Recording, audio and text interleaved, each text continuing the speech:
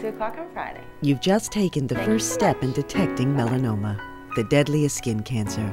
Early detection is the key. Remember, check your skin. Check it once a month. Check it for life.